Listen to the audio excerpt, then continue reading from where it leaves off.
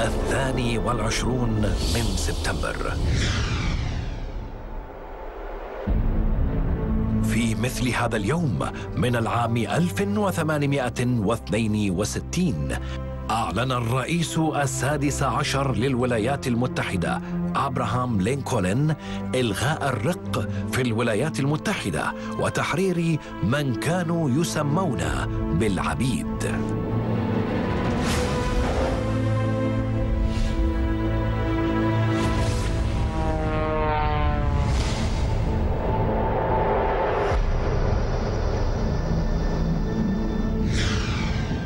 في الثاني والعشرين من شهر سبتمبر من العام 1911 تم افتتاح المدرسة المباركية وهي أول مدرسة نظامية في الكويت. سميت بهذا الاسم نسبة إلى الشيخ مبارك الصباح حاكم الكويت السابع والمؤسس الحقيقي لها.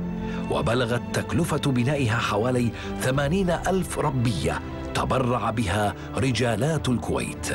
وكان الشيخ يوسف القناعي أول مدير لها.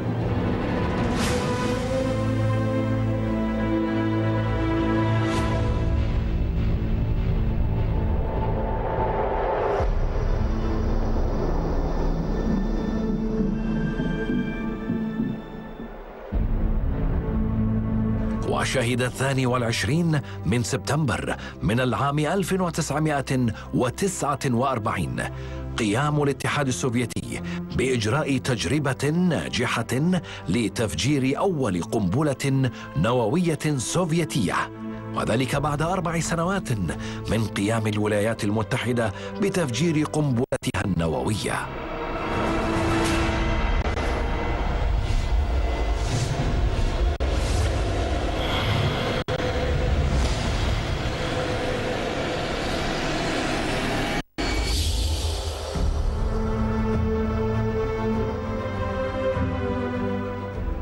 في الثاني والعشرين من سبتمبر من عام 1960 تم الإعلان عن استقلال جمهورية مالي التي كانت خاضعة للاستعمار الفرنسي منذ العام 1896 وعرفت باسم السودان الفرنسي.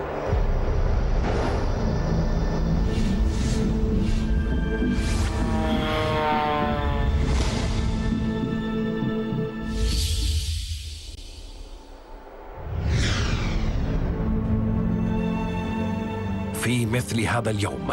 من العام 1980 اندلعت حرب مدمرة بين العراق وإيران واستمرت ثمان سنوات وانتهت في الثامن من الشهر الثامن من العام 1988 بعد أن خلفت أكثر من مليون قتيل. وأضعاف ذلك من المصابين والمعوقين. فيما قدرت تكلفتها الاقتصادية بأكثر من 400 مليار دولار.